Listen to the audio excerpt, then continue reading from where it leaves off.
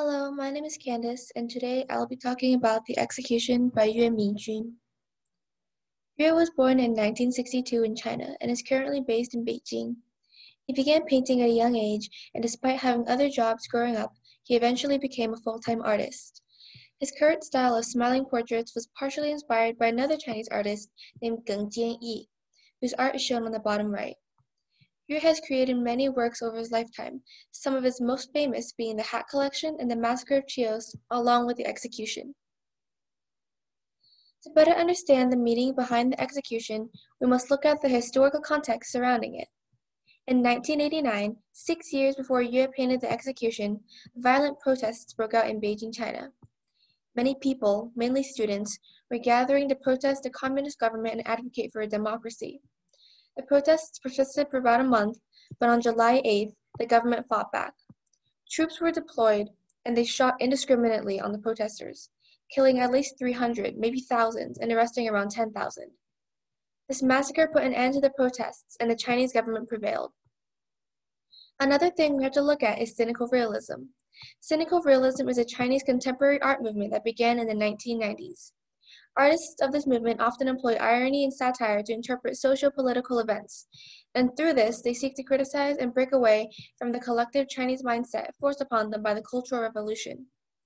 Yue is often associated with this movement against his wishes because many of his art, including the execution, often depict things that people cannot help but see as communist China. Along with his mocking portraits, Yue's art is a perfect example of cynical realism. The execution was painted in 1995 with oils, and its measurements are 150 centimeters by 300 centimeters. It is Yue's more, most expensive piece to date, selling for nearly $6 million. Now let's dive into the analysis. Although many believe that the execution is a criticism of Communist China, Yue employs us to think differently. In his eyes, the execution is much less a criticism than a cry of confusion. He is confused by the violence of the Tiananmen Square massacre, and he is left wondering if all the protesting was worth it. Because in the end, the government easily prevailed, and the protesters suffered a brutal defeat in a fight they never had a chance of winning in the first place. In a way, this struggle is so absurd that it's almost laughable. Yes, the painting can be thought of as a cynical criticism because of the figure's mocking grins and Yue's satirical portrayal of executioner and victim, but there's a deeper meaning. Let's analyze the figures first. On the left are the four victims, all near naked and very, very exposed. In true Yue style, they all have ginormous smiles on their faces that look almost painfully large. They are laughing at the absurdity of their death, and that is happening by execution, and because they have been so utterly humiliated by this public display.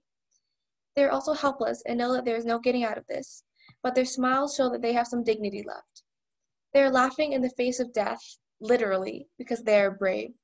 They will stand proud by their ideals until the very end, never giving in to the other side. In a way, such blatant defiance earns them a victory. Their lack of clothing also serves to emphasize how vulnerable they are, and that they have no way of protecting themselves, much less fight back.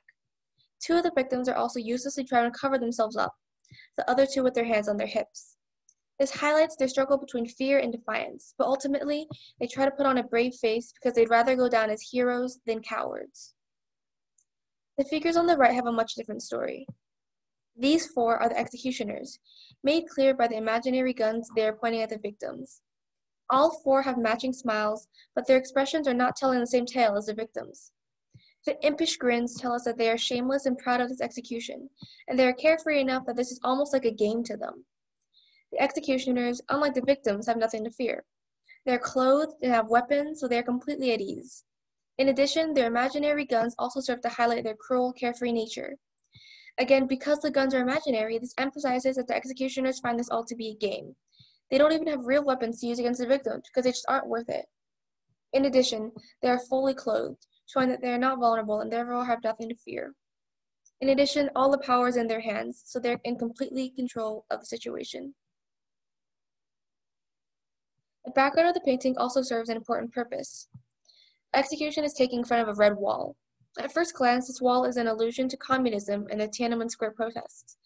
The victims would become the protesters, the executioners become the Chinese government. This wall highlights the irony of the situation, that the will die, the protesters will die in front of the very thing they were trying to destroy, all their efforts for nothing. However, this situation can be applied to the broader sphere of human conflict. Without associating the wall with communist China, this painting becomes a symbol for conflict everywhere in which a people seek to fight injustice but often do not prevail. Such leads us to wonder, what's the point? Why fight? In creating this work, Yue pondered the same thing. But in the end, these struggles prove that there is hope for humanity. For as long as there are people out there that will risk their life for change, even if they don't succeed, one day someone will. Another thing to note is the fact that the painting is set during the day. This emphasizes that the executioners have no shame and want the world to see what they have done, nothing to hide. In contrast, the fact that the execution is during the day highlights the vulnerability of the victims, for not only are they almost naked and weaponless, but they don't even have the cover of darkness to shield them from disgrace. All these odds are stacked against them, but it just further proves how brave they are to stand tall until the very end, no matter how much the executioners try to humiliate them. My analysis led me to conclude that the overarching theme of this work is that sometimes laughter is the only way to overcome hardship. In conflicts such as the one in the execution, one side is generally less powerful and much more likely to lose. That side can be the side of progress and change, but it has nothing to help them to defeat injustice.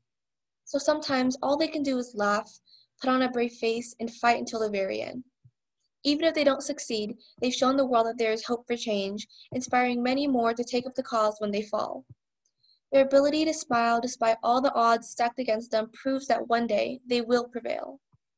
Thank you for listening.